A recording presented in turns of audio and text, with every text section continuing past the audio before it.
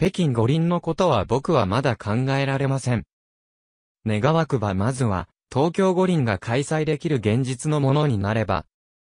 まずはそれを願っています16日に行われた国別対抗選手権のフリープログラム後にこう語ったのは、羽生結弦26。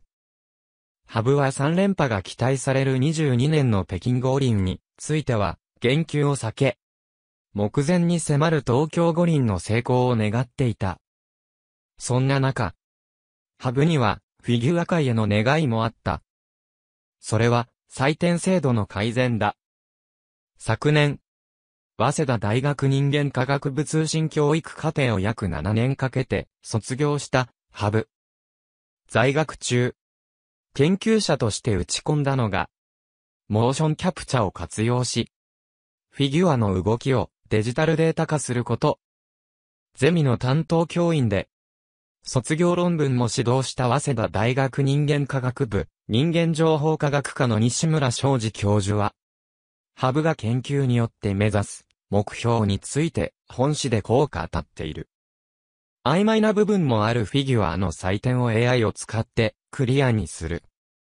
この研究を続けていけば大掛かりな装置も必要なく、普通のテレビカメラでもなんとかなるという可能性を示してくれました。これは本当にフィギュアスケートの歴史を変えるような研究になるのではないかと思います。20年12月1日8日号、そして本誌は、今回、ハブが同学部の学術誌に特別寄稿するにあたり、過失、修正した卒論を独自で入手。論文で、ハブは、現状のフィギュア界の採点制度への疑念をこう、綴っている。すべての選手のすべての要素に対して、ガイドラインに沿った評価ができるのだろうか。中略特にジャンプの利行利時の評価は非常に曖昧で、審判員の裁量に完全に委ねられているように感じる。実際に、インタビュー等で審判員の判断に苦言を呈している選手もいる。ハブの怒りは、そんな判定制度を悪用する選手やコーチにも向けられていた。これは正しい技術ではなく、稚拙なジャンプ、論文で、モーションキャプチャの精度を検証するため、ハブさんは自らを実験台に、アイスリンクで1回転ループや3回転半など6種類のジャンプを飛び、そのデータを測定。検証は見事成功し、論文でもこれは極めて有料なデータになったのではないかと感じると、結果に自信を課せていたそうです。大学関係者しかし、ループジャンプの検証では、こう綴っている。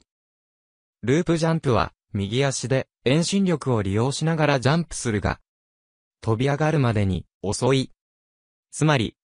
リゴーリせずに回転数を稼いでからリゴーリするようなジャンプを行うスケーターらがいる。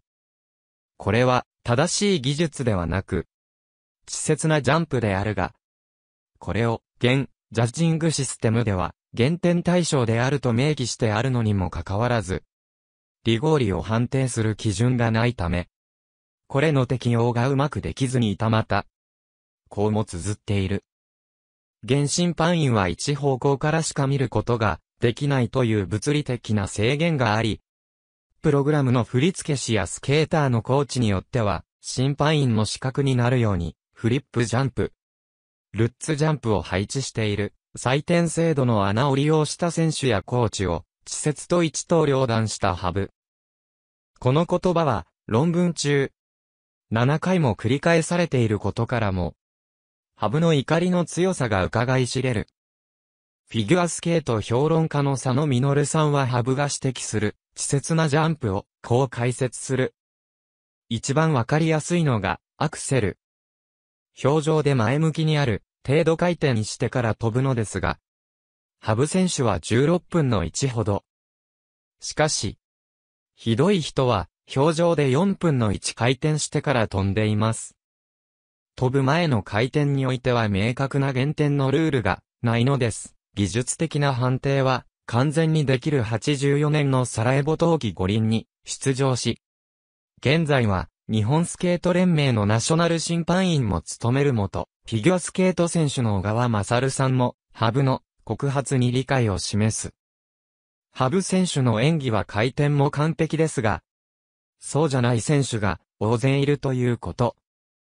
回転不足の判定問題は、厳格なルールがなく、それを見抜けていない審判も多すぎます。グレーゾーンのジャンプをしている選手が多いのも事実です。最大の目標である4回転半ジャンプ成功に向けて、試行錯誤を続けている、ハブ。今回の国別対抗選手権では挑戦しなかったが、その理由については、僕の気持ち優先よりも、みんなの力になれる演技をしたいと語っていた。しかし、あるフィギュア関係者はそこにも採点への懸念が影響している。と推測する。4回転半はまだ試合で誰も成功したことのない大技。仮に成功しても、現状の採点制度ではきちんと評価されないのでは、という思いもあるのだと思います。果たして、ハブが目指す採点改革が実現する日は来るのか。佐野さんは、芸術性の評価などの難しさを指摘しつつもこう、語る。今のテクニカルの部分を AI で正確にフェアに判定し、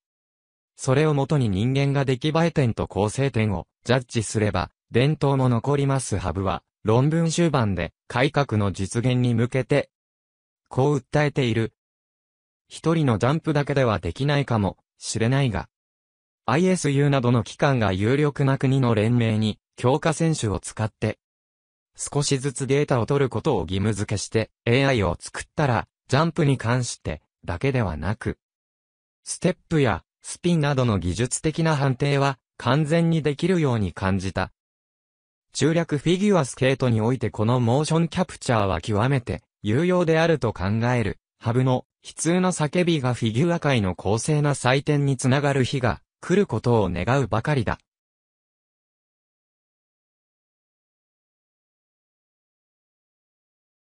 次のオーディオビデオでお会いしましょう。